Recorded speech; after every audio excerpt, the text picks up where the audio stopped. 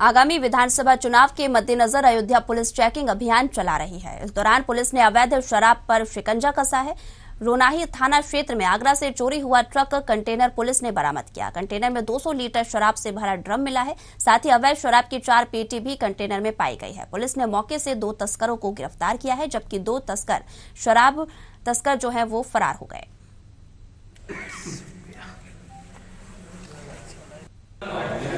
आज हमारी टीम थाना रोनाई और एसओजी जनपद की जो है, उसके द्वारा संयुक्त रूप से कार्रवाई की गई। सूचना पर कि चोरी का ट्रक आ रहा है, लखनऊ की तरफ़ से, हम लोगों ने चेकिंग लगाई और ट्रक को पकड़ा गया, जो कंटेनर था, उसका नंबर जो था, हमें चोरी की नंबर प्लेट महसूस हुई तो हमने चेक किया तो इंजन नंबर से हमने जो इसका ओरिजिनल नंबर है, वो पता किया, वो राजस्थान का नंबर था आरजे करके, और पता लगा जिपनेट पर डालने पर कि ये ट्रक चोरी का है।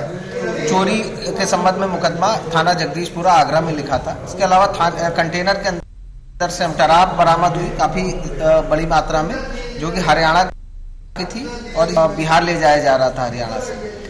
अब दो अभियुक्तगण मौके पर गिरफ़्तार हुए हैं, दो अन्य मौके से भागने में सफल रहे उनकी हरियाणा के रहने वाले उनके लिए हमारी टीमें लगी हुई हैं। और इसमें जो भी कार्रवाई है आगे, विधिक, वो सुनिश्चित की जा रही है।